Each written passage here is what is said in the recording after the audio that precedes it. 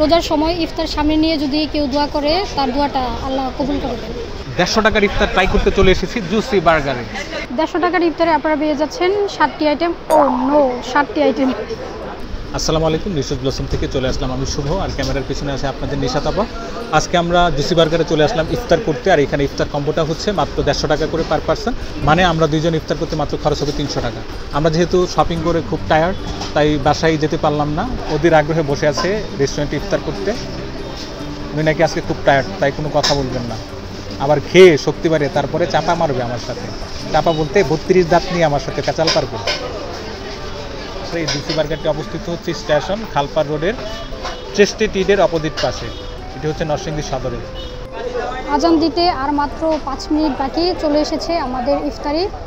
এই প্লেটাটাতে আছে fried rice, fried chicken, vegetable, দুইটা মালটার স্লাইস, শসা, আপেল আর দুই পিস খেজুর। আর সাথে আছে পানি। আপনারা চাইলে চিকেনটা গ্রেভি অথবা ক্রিসপি নিতে পারেন। যেহেতু প্ল্যাটারটা মাত্র দেড়শো টাকা তাই খাবারও দেড়শো টাকার পরিমাণে দিয়েছেন। খুবই চিন্তা ভাবনা করে চিকন চিকন করে কেটেছেন। এই যে খাবারগুলো পরিমাণে কিন্তু খুবই কম আর ইফতার করার মতো। কি আর করব? বসে বসে প্রে করছি আর মাত্র দুই মিনিট বাকি। প্রে করছি যে যারা অনেক কষ্ট করে রোজা রাখে তারা যাতে মানে অন্তত সেহেরি আর ইফতারটাই ভরা পেটে করতে পারে। ভরা পেট মানে মানে খুব ভালোভাবে করতে পারে, তাদের জন্য দোয়া করছি।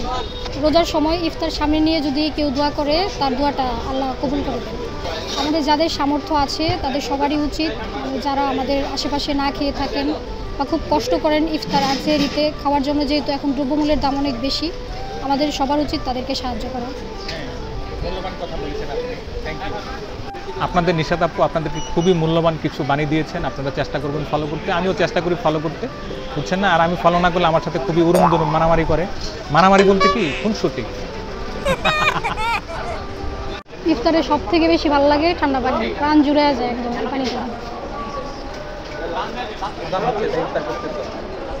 ইফতারের পর আমি সবচেয়ে বেশি যেটা খাই সেটা হলো ঠান্ডা পানি। খেতেই থাকি খেতেই থাকি।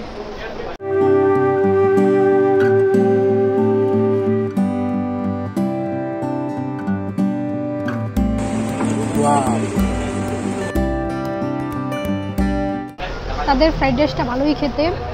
কোয়ান্টিটি একটু কম, কিন্তু ভালোই খেতে। আমি দুইটাই টেস্ট করেছি chicken fry crispy chicken fry আর গ্রেভি দুইটার টেস্টই ভালো। আপনাদের যার যেটা পছন্দ, ওইটা নেবেন। সম্মান ভালো লাগে না।